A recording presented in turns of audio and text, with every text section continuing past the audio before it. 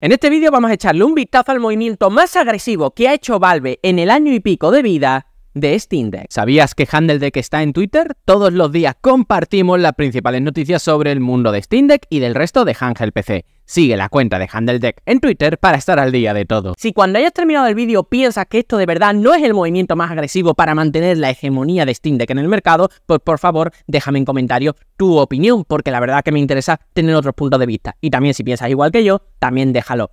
Así que nada, nos vamos a poner a analizar esta noticia punto por punto, porque es realmente clave. Y por favor, déjame un like si sigues que siga haciendo este tipo de contenido. Bien, ¿y cuál ha sido esa noticia? Bien, es que Valve en las últimas horas ha anunciado que se va a poder comprar a través de Steam de manera oficial en los países que ya se está distribuyendo, pues Steam Deck reacondicionada, Steam Deck de segunda mano, Steam Deck refurbished, como quieras llamarlo. Al fin y al cabo son máquinas que se han devuelto por parte de los usuarios por X o por Y y ellos lo que han hecho es verificarlas, las han arreglado si es que estaban rotas en algún caso, les han hecho un proceso de limpiado, bla, bla, bla, para que todo esté bien y después te las vuelven a vender a un precio más barato, ¿no? Precios más baratos que la verdad es que están al nivel de una de las rebajas prácticamente del, de la última vez que se vendieron de rebajadas estas Steam Deck, ¿no? La versión de 64 GB costaría 339 euros en España, 250, la de 256 GB costaría 439 euros, nota el segundo tier de Steam Deck costaría más o menos lo mismo que una nueva de las más, de la más barata, ¿no? O sea, imaginaros, ¿no?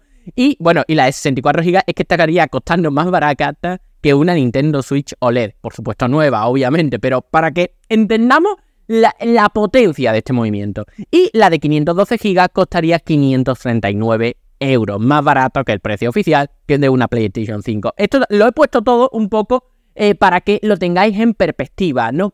¿Qué está ocurriendo alrededor de todo esto? Porque de verdad me parece algo realmente potente.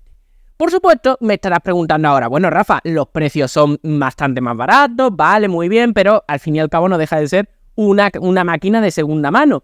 Eh, eso a lo mejor implica que tiene algún defecto, bla, bla, bla. Pues no, esto lo está vendiendo de manera oficial de Steam y eh, al final esto se parece más a lo que hace Apple con su refurbished, aunque su sistema de refurbished no no es que sea precisamente demasiado eh, ágil, ¿no? No siempre tienes el producto que tú quieres, etcétera. Aquí, al tener una gama de productos muy limitada, pues más o menos sabemos que aunque si te esperas a lo mejor unos días, ¿no? Si en, el momento en el que estoy grabando este vídeo hay stock de las tres, pero imagínate que dentro de un par de meses, de un mes, pues empiezan a escasear y eso va a ocurrir, seamos claros, ¿no? Pues bueno, a lo mejor será un poquito de paciencia para a lo mejor no tener que esperar a una rebaja y poder comprar la versión reacondicionada más barata cuando salga a la venta, ¿no? Pero claro, es que estas máquinas, como he dicho antes, se parecen muchísimo al concepto que hace Apple de refurbished, porque son máquinas que están mint, están perfectas desde la propia, desde la propia Valve se nos ha asegurado que la máquina está en perfectas condiciones, la, la, pantalla no tiene ningún tipo de rayadura, está perfecta,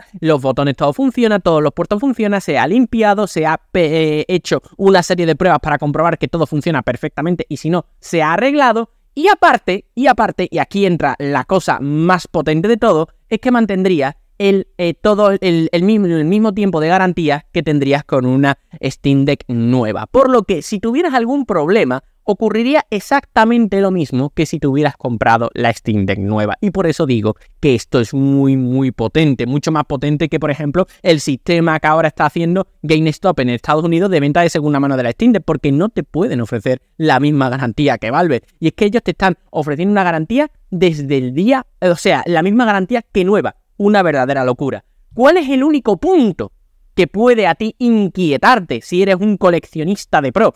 Pues básicamente lo que te dicen ellos es que obviamente al ser una máquina de segunda mano o reacondicionada, lo único que puede tener es a lo mejor pequeñas marquitas prácticamente muy leves, ¿no? Alrededor de lo que viene a ser la carcasa de plástico por el uso normal, es decir, un esconchón, un, eh, un bollo, algo, eso no lo vas a tener, vas a tener la clásica a lo mejor bueno, yo por ejemplo es que la tengo perfecta, ¿no? Por la parte de plástico que mantengo de la original. Entonces no sé exactamente qué será, pero a lo mejor algún tipo de marquita leve o algo por el estilo. Pero vuelvo a decir, la pantalla estaría perfecta, todo funcionaría perfectamente, la batería también estaría comprobada de que funcionaría perfectamente. Te vendría, por supuesto, con su cargador, ¿vale? Que también te dicen que como mucho puede tener alguna marquita, ¿vale? Lo clásico, pero que el, el, cargador estaría fetén y que funcionaría también perfectamente. Y también te mantendría la carcasa de viaje. Por lo que Sinceramente, es algo muy, muy goloso. Y como he dicho anteriormente, ¿por qué considero que este es el movimiento más agresivo que ha podido hacer Valve desde que lanzó la máquina? Vamos a ver, lo que acaba de hacer, en mi opinión, Valve, es una rebaja encubierta de la Steam Deck. ¿Y por qué digo esto? Vamos a ver. Valve se ha dado cuenta que las dos veces que ha puesto Steam Deck de rebaja, ¿no? Durante la rebaja de primavera del año 2023 y la de rebaja de verano del año 2023, las ventas de Steam Deck no es que hayan aumentado, es que se ha vendido como pan caliente, siendo número top 1 de ingresos durante la época de primavera y top 2, ¿vale? En la época de verano. Una verdadera animalada. Y encima, tras esa cantidad de ventas abrumadora, Steam Deck se ha conseguido meter has conseguido continuar estando en los top ventas por ingresos de Steam. ¿Y eso cómo se hace? Es que ahora mismo está en los top de, en el top 5, top 6 de ventas de Steam, de, Steam. Estando juegos como Remnant 2, Baldur Gate, eh, yo qué sé, Call of Duty que ahora ha, juntado todo y lo ha puesto solamente en un único hub. O sea, se está enfrentando a pesos pesados gigantescos y la tía sigue estando en los tops. Por lo que las rebajas no le afectan. Entonces, Valve lo que ha dicho es, vamos a ver, tengo aquí una cantidad de hardware y de stock brutales pues, debido a, ¿cómo se llama? Arreglos, reparaciones, eh, devoluciones, etc. dice, pues vamos a darle salida, recuperamos parte de esos ingresos y encima seguimos engordando lo que viene a ser nuestro plan maestro, que no deja de ser el mismo concepto de una, del mercado de las consolas, que es poner el mayor número de sistemas en manos de la gente y que después saquemos dinero con, con las ventas de los juegos. Y aunque ahora mismo, y yo estoy seguro que con esto, esta venta reacondicionada están perdiendo dinero, yo estoy seguro, prácticamente, a lo mejor no demasiado, pero yo sí que estoy seguro que gran parte de esas ventas van a estar perdiendo dinero. Pero claro, es que les sigue rentabilizando, ¿no? Seguramente en este año habrán conseguido bajar los costes de producción de Steam Deck, ¿no? Y ya no sean tan dolorosas hacer las Steam Deck, como decía Game Newell al principio,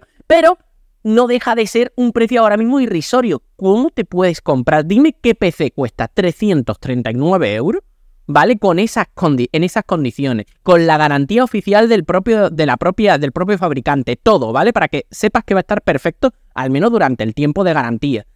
Eh, ¿qué, ¿Qué PC te puedes comprar por ese precio con esta capacidad? Ninguno. Es que es una verdadera locura. Y es que en lo personal creo que Valve lo que está haciendo aquí es una cosa muy muy clara. Se da cuenta que ahora mismo no puede confiar en fabricantes externos, ¿no? Por supuesto, ellos, él quiere, ellos quieren que Stino se vaya metiendo dentro de eh, pues de su de la nueva de Lenovo, etcétera, pero lo están viendo complicado entre que ellos tienen sus propios acuerdos con Microsoft y que encima su hardware tiene que estar bastante caro. Yo creo que han, han dejado claro, se han quedado claro con una cosa y es que para que Linux, que recuerdo siempre que es su principal punto y objetivo, ¿vale? O sea, que el gaming se traslade a Linux, o por lo menos que una gran parte del gaming se traslada a Linux, no a lo mejor en tu ordenador normal y corriente, pero en otro tipo de plataformas, ¿no?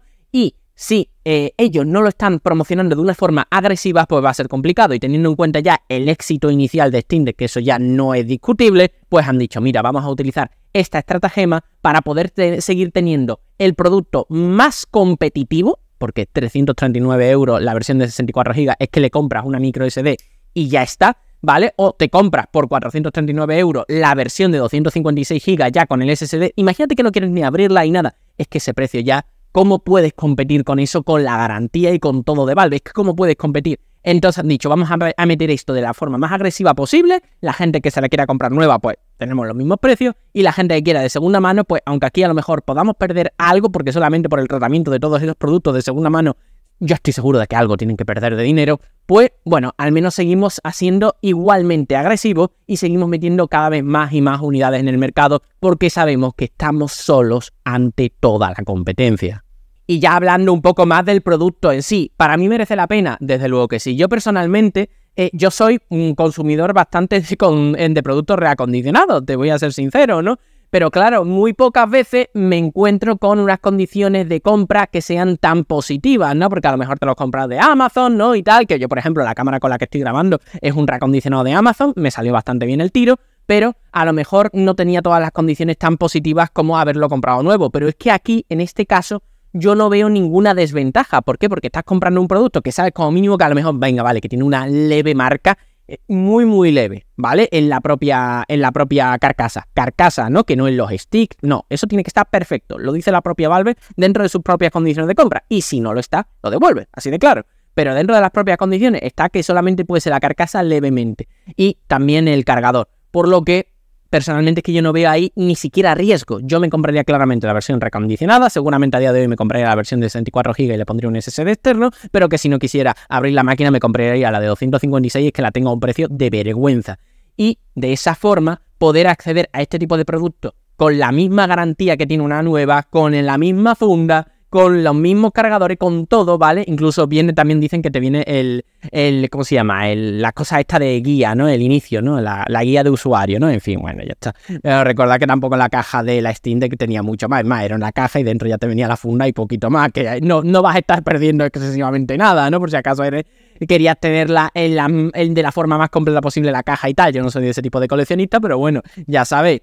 Pero más allá de eso, es que yo personalmente lo veo un win-win. Es que a día de hoy, habiendo reacondicionado, teniendo en cuenta, yo no sé si, es que no sé ni siquiera cuál sería la única, la excusa para comprarme la nueva, si es que no hay eh, de reacondicionada. Yo no vería ningún tipo de excusa.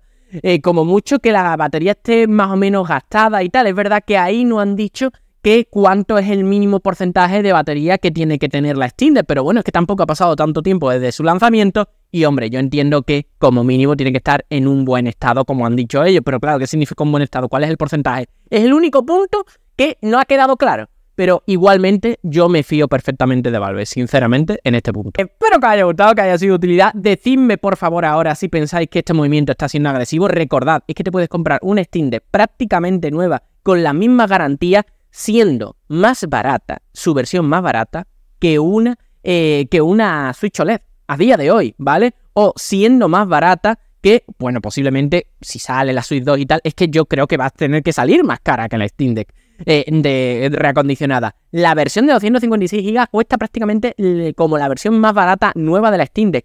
Y la de 512 GB cuesta más barata que una PlayStation 5. O sea, si esto no es agresivo, ¿vale? Y con todo el tema de la garantía, etcétera, etcétera. Si esto no es agresivo, pues sinceramente, yo ya no se me ocurre otra cosa. Nos vemos en un nuevo vídeo. Chao.